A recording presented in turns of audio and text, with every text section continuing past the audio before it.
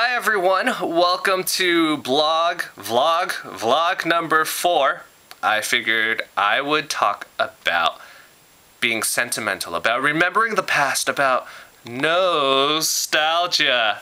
Okay, yeah, I tried. I'm a very sentimental person, but don't tell my enemies. Yeah, I actually keep a lot of my notes. I keep a lot of the things that people have written to me, whether they be nice or mean. I'm just not to show you any of the mean things. It reminds me of where I came from, who I was. Some of these things that people have said about me still are true. Some of these things are things that I've realized have changed about me, but hopefully I haven't changed too much for the worse. Enjoy my pack rattiness. I don't know how to turn that into a more complicated noun. So, with that, let's start. I guess we'll start with one of the oldest ones first. Da, da, da, San Francisco.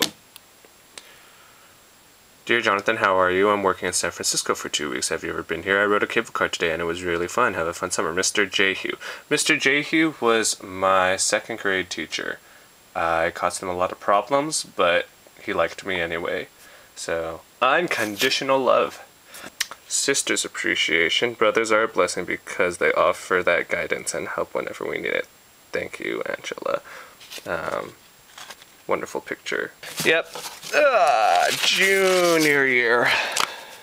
This was my yearbook because back in the day I was too um, cheap to buy inserts because I figured I could just write everything on computer paper. Hello, Jonathan. I would write with my pretty blue Sharpie, but I'm afraid it will go through the paper, so I must resort to this boring but classic black pen.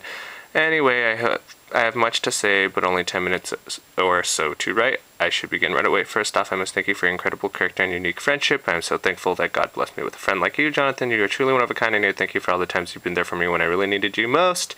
I'm grateful for all the things you have sacrificed on my behalf, your time, your CSF paper, etc. I cannot possibly hope to find anyone like you. Thank you once again for your unconditional friendship and support. May God pour all of his blessings upon you. P.S. I'm so excited to have AP Spanish with you. Um, yes, from a woman. No, nothing happened because I was a angsty teenage boy. Someday, someday I would like to see her again. Um, but don't know if that's going to happen because we don't talk anymore. Yeah, it's kind of sad. When you go through a lot of these things, you realize how many people you don't talk to anymore. Um, even though at the time you had a lot of fun memories. Alright, so enough of the sadness. There we go. Yay, Jonathan Liao, I'll go to prom. Uh, this was back when I refused to go to prom. This was before I got forced to go to prom. Yes, yes, Twilight was a thing back then. And thanks to all the wonderful ladies that uh, were willing to go to prom with me. I went to three of them. This is college. Um, from freshman year when we performed for a talent show and we actually did really well. Here is during my second year. Um, this was back when I worked in housing. Back in college, I used to collect a lot of name tags, and so um, many of my friends decided on my birthday they would get me a cork board filled with name tags and write everything down. Um, I can read one of them. Here we go. The wit makes fun of other persons. The satirist makes fun of the world.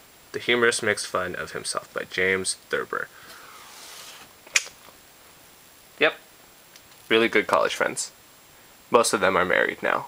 The 337 quote wall. I used to live in an apartment called um, Apartment 337 in San Marino Apartments, located in Irvine, so don't be too confused. One thing to note is of shame. Uh, here we go. Let's see one of my worst things that I've said. Aha!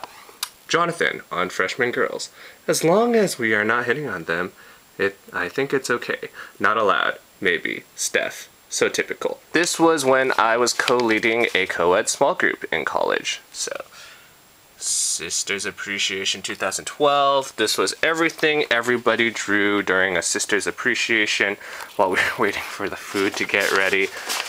Lots and lots and lots of drawings. We have these wonderful wedding pictures. One of the more recent things is I had uh, three separate letters uh, from Taiwan Missions from people who were kind enough to write me nice things.